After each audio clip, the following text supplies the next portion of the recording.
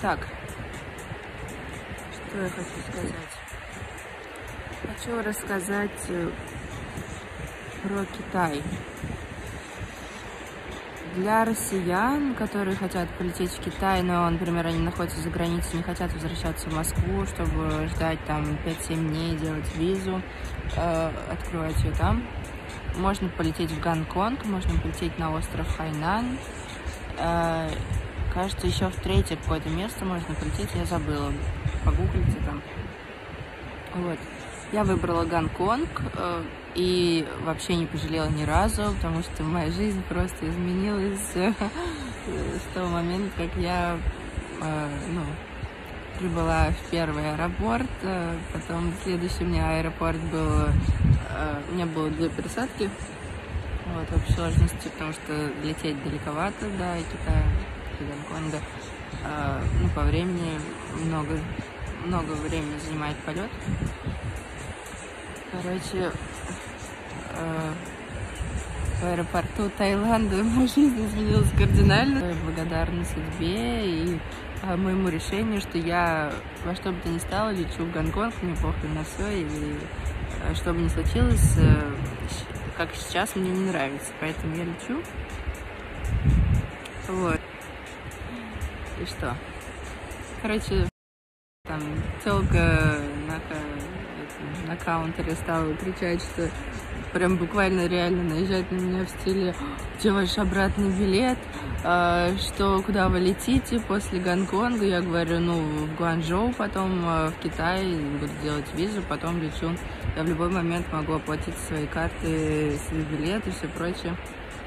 Вот, и потом, короче, я говорю, я immigration, типа, что это на меня наезжаешь, ты орешь, короче, спрашиваешь меня билет, все прочее. У меня есть уже все билеты, просто мне дали два посадочных талона, третий, короче, вот должна была этой телки получить. И она с таким видом, э, типа, хочет, чтобы я не полетела, улыбается так вот на меня, короче, прям вот, э, ну, наклонилась на меня, начинает мне там что-то доказывать. Я на нее в ответ наклонилась, начинаю орать, и все это наблюдает один человек. Но все случилось очень счастливо. И что произошло дальше? Вот, короче, я наехала на эту телку, она потом такая вся испугалась. Э, я ей показываю свои букинги, отели и все прочее. Я говорю, вот-вот-вот, и, короче, типа, отъебись от меня, сучка. Короче, так для меня Таиланд вообще никак не привлекал до этого, так еще и вот этот случай в Таиланде в аэропорту очень как-то сложно чего-либо найти, как-то я там все потерялась, я помню, я там бегала-бегала, искала, где же этот а, посадочная, короче, где этот каунтер, Катай Пацифик была Airlines, вот, короче, Вообще путешествовать я терпеть не могу. Я хочу путешествовать на своем private джете, потому что реально меня просто вымораживают все эти работники аэропорта, как там вот с багажом, там что, все вот это считать, сколько ты с собой берешь, что берешь, э, это все взвешивать, переплачивать, доплачивать, выкидывать. До этого, как-то я помню, я выкидывала даже, потому что, ну, не знаю, короче. Вот сейчас я все это переплачиваю в разы, постоянно какие-то билеты покупаю дорогие и все прочее, потому что нужно много всего с собой брать, потому что съемки и все прочее. Вот сейчас мужик идет, на меня. И этот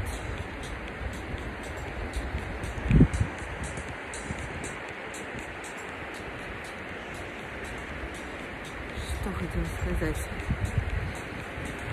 Гонконг. А, очень сложно там что-то... Нам там нужна какая-то карта, когда в эмбасси идешь.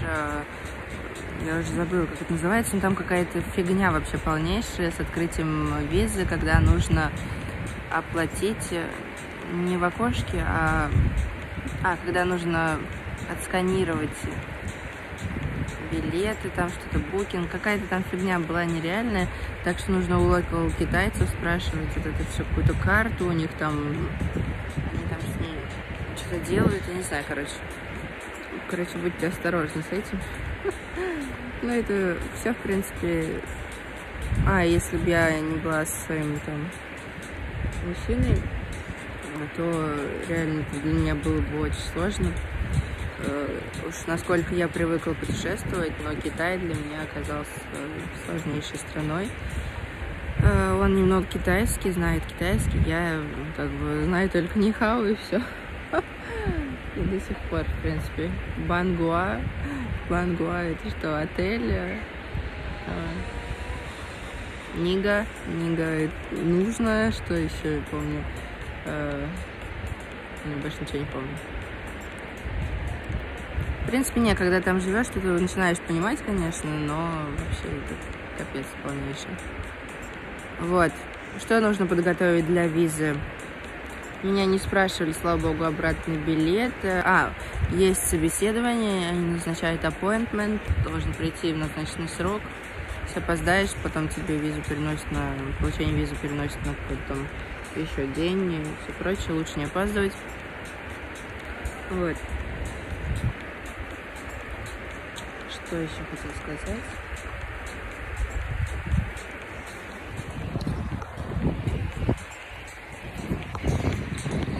Держать телефон.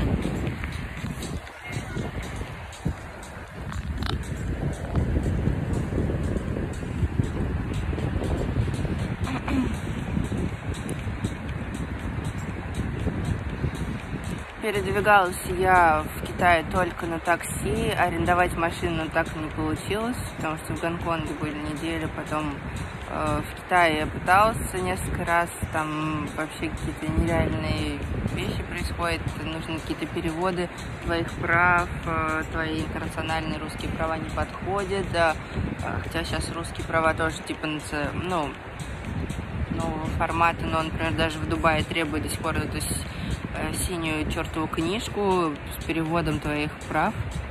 Хотя у тебя на английском языке все продублировано в твоих правах нового образца. Э, я не до сих пор почему спрашивают эту всю фигню. А в Китае так вообще в аэропорту невозможно арендовать 24 часа, э, не работает там вот эта аренда машины. И тем более тебе дают только с водителем. Там в 10 часов все закрывается, или в 9, или в 10. Вот, в Китае проблем также в 2-3 часа вообще рестораны закрываются, э, ну, ночью. Невозможно ничего поесть. Питались мы только в турецких ресторанах, в муслим ресторанах, потому что невозможно есть китайскую еду, фу-фу-фу, я вообще это терпеть не могу. Я хотела вот только попробовать змею и кровь, но я так и не нашла нормального цивильного ресторана, чистого, вот, поэтому, короче, пока что мечта осталась мечтой. Вот, в следующий раз я полечу, надеюсь, найду, может быть, заранее змею там, где поесть, потому что у нас вообще совершенно не было времени, постоянно были на шопингах, где-то там, по бизнесу, по делам, бизнес-шопинг, э, свой шопинг для себя и все прочее. Ну и, короче, совершенно не было времени, даже спали мы очень мало. Так, что я хочу сказать еще? Так что приготовьте лучше заранее перевод на китайский, перевод своих прав на китайский. Вот, и тогда есть возможность того, что вам дадут э, арендовать машину.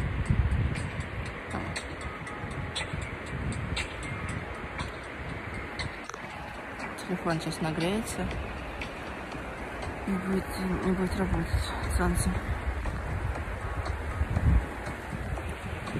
Что еще хочу сказать? Вот, погода там, в принципе, хорошая. А, только в Гонконг, когда я прилетела, был нереально дикий ливень, и я вообще испугалась, что это какой-то апокалипсис, все было темно вокруг, с аэропорта мы долго ехали, вокруг вообще темно, ни огней, ничего вообще. А, я была в шоке, я думала, в Гонконг, я представляла, светится, все прочее. Слава богу, потом мы приехали когда в Туандан, там уже все ну, нормально, небоскребы, все прочее. Гонконг очень богатый, и это бизнес-центр, э, и там ну, как бы все, многие люди разговаривают на английском, не так, как в Китае. В Китае проблема, реально никто не разговаривает на английском вообще ты пытаешься на каком-то ломаном китайском что-то объяснить, показываешь им в переводчике, у них там много диалектов, невозможно, непонятно, на, каком диалекте с ним разговаривать, мандаринский, не мандаринский, там, не знаю, какой-то, еще какой. Вот, и я загрузила себе каких-то 10 клавиатур э, на iPhone. Ну, это вообще, конечно, пипец. Когда ты в такси садишься и пытаешься сказать, выключите мне AC, закройте окно, это на полчаса, на час э, translation, короче, они никогда не понимают. Э, мне хочется убить этого таксиста. Вот. Метро я вообще категорически презираю, ненавижу. Э, не использую ни в Москве. Слава богу, сейчас все нормально с этим. Я могу водить машину. И нормально вожу. И обгон у меня нормально выходит. Короче, единственная у меня проблема только с паркингом в узких местах. Я ненавижу маленькие улицы, маленькие места, где нужно припарковаться. Короче, потому что я обязательно задену кого-то. И обычно моя машина не страдает, потому что она дорогая, а машина кого-то обязательно, короче, вся какая-то покоцанная, потому что у них какая-то дебильная краска, дебильный материал и все прочее. Вот. Что еще?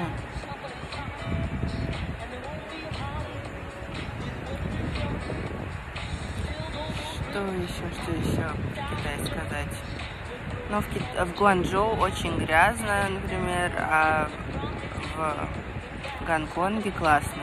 И в downtown е реально стоит э, зависнуть надолго. Там э, вообще огромная улица с luxury брендами. Я там купила очень много вещей, там э, свою любимую кэтбэк э, в Максмара, там Фэнди, купила платье, туфли, э, еще там колготки, платок, вот Гуччи, там, короче, всякие вещи, короче.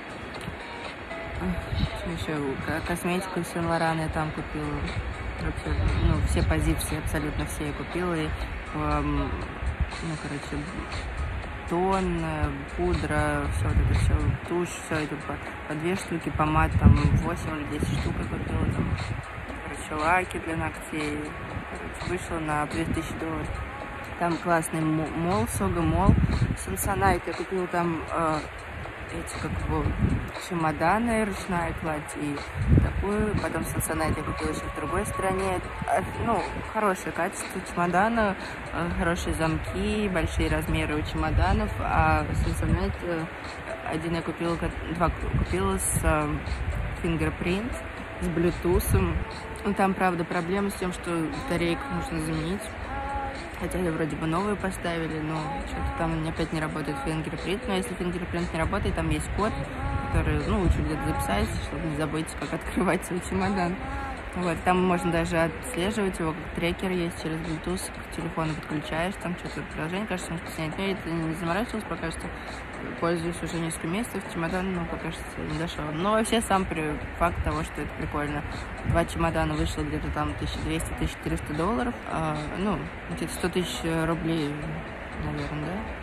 Тысяч рублей, не знаю, короче, тысяч рублей за два чемодана прикольные чемоданы. Вообще очень много чемоданов понадобилось в эту осень. Я купила еще, ну, вообще в сложности, наверное, 14 чемоданов. Короче, такое.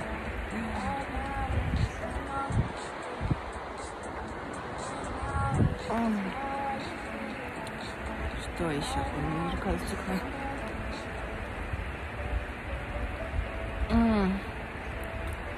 Так, про Гонконг что еще можно сказать? Ну, в Гонконге мы тоже в муслим-ресторанах питались, в турецких, в муслим... и там в Маро... марокканском, там каких-то еще там. Там можно заказать онлайн еду, слава богу. Ну, мы заказывали, наверное, один раз только онлайн еду. Вот, ну так в отеле что-то можно заказать. Ну там в отелях нету мусульманской еды. А, что еще? Я люблю арабскую кухню, я ну, люблю узбекскую кухню. Если в Москве, то я всегда ем в Чехане. Э, обязательно несколько раз точно. Но остальное стараюсь еще какие-то другие места. Вот. Мне нужно переодеться на самом деле. сейчас переоденусь и продолжим. Так, ну я переоделась в купальник. А, что я еще хотела сказать про Китай? Сейчас мне уже хочется искупаться, наверное, поэтому продолжу после про Китай. Самое главное, что вы должны подготовить, это много денег, э, перевод своих прав, чтобы там арендовать нормальную машину. Лучше вообще купить ее саму. Вот, если у вас там постоянно бизнес намечается, естественно, лучше там иметь. Слава богу, у нас там есть друзья, вот, они иногда нас подвозили. Вот. Потому что невозможно таксистами. Ну, там большие расстояния. Также были в городе Шантау. Там тоже находятся всякие фабрики все прочее. Шоурумы для товаров. Вот. Есть еще Шэньчжэнь с электроникой.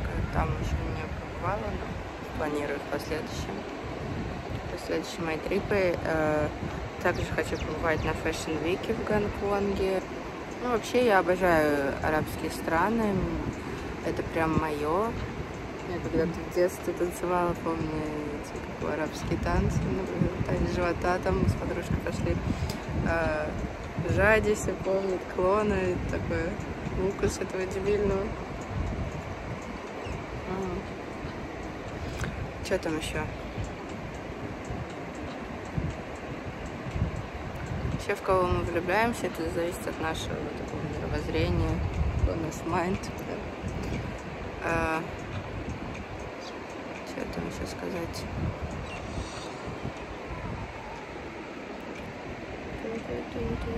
Вообще любить себя только нужно, только себя в первую очередь и следовать своим интересам.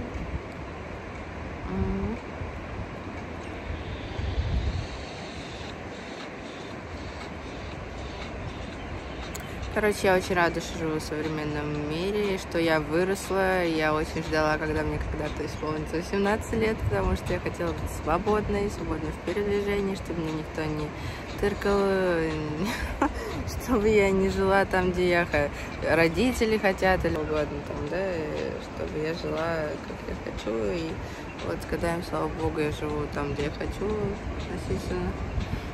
Я могу передвигаться, когда мне хочется. Я могу сегодня быть в одной стране, уже через несколько часов в другой стране, и для меня это нормально абсолютно. И что я не люблю, это только вот всякие паспортные контроли, все эти регистрации на рейсы, ожидания в аэропорту. Ну, даже ожидание в аэропорту у меня это более нормально, чем эти регистрации и паспортные контроли. Ненавижу эти дебильные вопросы. Вообще, что еще хотела сказать?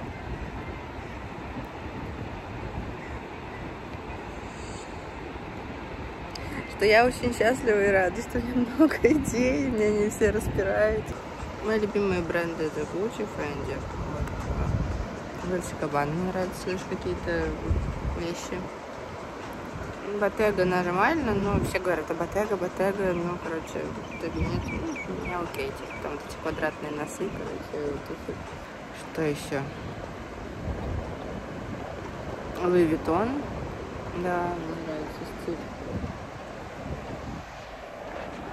Это наши шлуи, луи, луи, луи. Иди сюда, я тебя поцелую. Это песня, саундтрек этой осени. e seus pés ocupados.